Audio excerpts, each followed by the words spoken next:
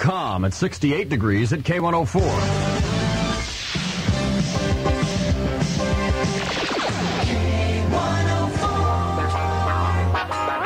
We're rocking. We're K104, Erie's music station.